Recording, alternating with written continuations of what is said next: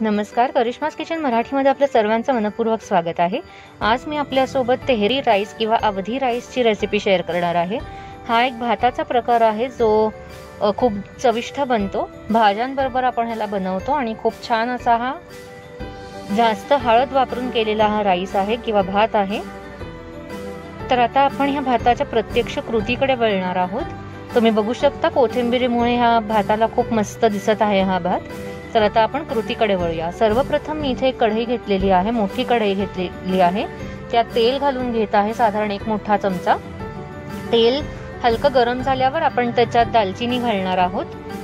अर्धा इंच इतकी आपण दालचिनी घालून घ्यायची आहे आणि इथे मी आता गॅस बारीक ठेवलेला आहे.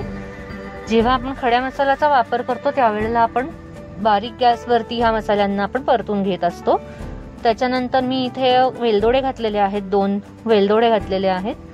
तीन लवंग घालून घेणार आहे मी इथे. आणि ह्या सगळ्या मसाल्यांना खड्या मसाल्यांना मी छान बारीक आचेवरती थोडंसं ढव ढवळून घेणार आहे. बारीक आचेमुळे काय होतं ह्या पदार्थांच्या चवी मस्त लागतात त्या ड्राय त्या रोस्ट होत राहतात. आणि त्यांचे फ्लेवर्स ऑइल्स इसेन्शियल ऑइल्स जे असतात ते बाहेर येतात आणि आपल्याला मस्त खमंग त्याचा वास येतो छान. आणि भात किंवा कुठलाही जो पदार्थ आपण बनवत असतो तो मस्त फ्लेवरफुल बनतो.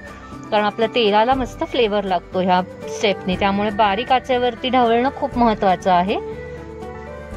एक पाच ते सात मिनिटांनंतर हळूहळू ह्या मसाल्यांचा फ्लेवर यायला लागतो. तर तोपर्यंत आपण यांना आपण मस्त ढवळून घ्यायचं आहे. त्यांना आपण बारीक आचेवरती शिजवायचं आहे. आता मी इथे बटाटा घातलेला आहे. एक मध्यम आकाराचा बटाटा वापरलेला आहे. साधारण मोठ मध्यम बारीक आकाराच्या फोडी मी त्याच्या करून घेतलेल्या आहेत. बटाट्याच्या फोडी तुम्ही तुमच्या पद्धतीप्रमाणे चिरू शकता. खूप मोठा नाही चिरायचा पण अगदीही बारीक नाही चिरायचा. आता ह्या एक मध्यम आकाराच्या बटाट्याला आपण छान शिजवून घेणार आहोत. तर आपण ह्याच्यावरती झाकण ठेवून मधून अधून त्याला ढवळून घेणार आहोत आणि त्याला शिजवून घेणार आहोत. तर मी इथे मीठ घालून नाही घेणार आहे. सर्वप्रथम मी नुसता बटाट्याला छान शिजवून घेणार आहे. मस्त आपण याला ढवळायचा आहे बटाट्यांना छान ह्या मसाल्यांची चव लागली पाहिजे. जेणेकरून तो मस्त फ्लेवरफुल होईल एकदम आपला भात. तर आता मी याच्यात हलकंसं पाणी घालणार आहे आणि झाकण ठेवून या बटाट्यांना शिजवून घेणार आहे. झाकण ठेवण्याने स्टीम छान एकत्र येईल आणि आपले बटाटे मऊ शिजतील. आपल्याला त्यांना गोल्डन ब्राऊन करायचं नाहीये. नाही तर त्याच्यावरती एक प्रकारचा लेअर तयार होतो गोल्डन ब्राऊन रंगाचा तो आपल्याला करायचा नाहीये. त्यामुळे मी इथे झाकण ठेवून हलकं मधून मधून पाणी घालून घेणार आहे. आणि बटाट्यांना छान शिजवून घेणार आहे. तर तुम्ही बघू शकता इथे पाणी थोडंसं आपलं उडतं त्यामुळे ही स्टेप खूप काळजीपूर्वक करायची आहे. लहान मुलं बनवणार असतील तर तिकडे खूप लक्ष द्यायचं आहे. आता बटाटे ऑलमोस्ट डन झाल्यावरती मी इथे फ्लावर आणि कांदा घालून घेणार आहे. फ्लावर तीन मोठे चमचे चिरून घेतलेला फ्लावर तीन मोठे चमचे आहे. आणि कांद्याचा एक मध्यम आकाराचा कांदा वापरलेला आहे. त्यालाही हलका बारीक चिरून घेतलेला आहे. खूप बारीक नाही चिरायचं. थोडा दाताखाली आपल्याला टेक्स्चर्स हवे आहेत. त्यामुळे तशा प्रकारच्या मी भाज्या इथे चिरून घेतलेल्या आहेत. आता ह्या फ्लावर आणि कांद्याला पण आपण छान शिजवून घेणार आहोत. त्यामुळे इथं आपण त्याला पहिलं ढवळून घ्यायचं आहे परतून घ्यायचं आहे. सगळे फ्लेवर्स आपल्या खडा मसाल्याचे एकजीव झाले पाहिजेत. झाकण ठेवून मी इथे शिजवून घेत आहे. जेणेकरून आपल्या मगाशी उल्लेख केल्याप्रमाणे आपल्याला गोल्डन ब्राऊन करायच्या नाही आहेत भाज्या. आपल्याला त्यांना छान असं मस्त ठेवायचं आहे. मऊ ठेवायचं आहे. कडक नाही बनवायचं. त्यामुळे मी इथे झाकण ठेवून हे शिजवून घेत आहे. तर एक पाच ते सात मिनिटांनंतर आपला फ्लावर हळूहळू शिजत आलेला आहे. बटाटाही हळूहळू शिजत आलेला आहे. थोडंसं पाणी घालून पुन्हा मी ते शिजवून घेतलेलं आहे. आता ह्याला मी एकदा परत ढवळून घेणार आहे. झाकण काढून झाल्यानंतर वाफ आलेली आणि आपला फ्लावर बटाटा मस्त शिजलेला आहे. आता ह्याच्यात मी एक हिरवी मिरची घालून घेणार आहे. हिरवी मिरचीची क्वांटिटी तुम्ही टेस्टप्रमाणे ऍडजस्ट करू शकता. त्यानंतर किसलेली लसूण आणि किसलेलं आलं प्रत्येकी एक छोटा चमचा. आणि ह्या सगळ्याला मी छान एकजीव करून घेणार आहे. ह्याची मस्त चव आपल्या पदार्थाला लागली पाहिजे त्यामुळे इथे आपण जरा थोडासा गॅस मोठा करणार आहोत आणि ह्याला मस्त परतून घेणार आहोत. तुम्ही बघू शकता मस्त आपल्या भाज्यांना ह्याच्या चवी लागलेल्या आहेत आणि मस्त ते एकजीव झालेलं आहे. तर मी ह्याला छान ढवळून घेत आहे. आता लसूण आणि आल्याची तुम्ही पेस्टही घालू शकता पण मी इकडे किसून वापरलेलं आहे एक छोटा चमचा. आता मी इथे घेवडा घालून घेणार आहे. घेवडा चिरलेला एक मोठा चमचा आहे एक ते दीड मोठा चमचा आणि गाजरही घेतलेला आहे चिरूनच ते पण एक मोठा चमचा घेतलेला आहे. भाज्यांच्या क्वांटिटी आपण राईस किंवा भाताच्या क्वांटिटी प्रमाणे ऍडजस्ट करू शकतो. इथे मी सगळ्या भाज्यांचा वापर केलेला आहे. हेल्दी राईस असतो हा खूप मस्त लागतो चवीला. त्यामुळे इथे तुम्ही बघू शकता रंग वेगवेगळे आहेत. गाजराचा मस्त. तर असा आपला हा भाज्या आपण शिजवून घेत आहोत.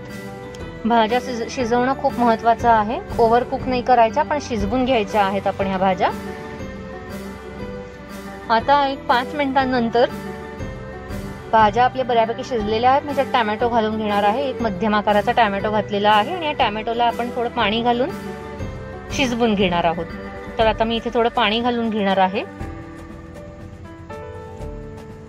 तुम्ही बघू शकता आपल्या भाज्या एकही कडक नाही झालेल्या आहेत. हलका रंग त्याला आलेला आहे गोल्डन ब्राऊन पण त्या मऊ राहिलेल्या आहेत. याचं कारण म्हणजे आपण सतत पाणी घालून त्याला वाफेवर शिजवलेलं आहे. त्यामुळे इथे मी पुन्हा थोडस पाणी घालून घेतलेलं आहे जेणेकरून आपल्या भाज्या मस्त एकत्र येतील. आणि आता इथे आपण मसाले घालणार आहोत. आपण खडा मसाला मगाशी घातलाच आता मी इथे हळद घालून घेणार आहे एक मोठा चमचा.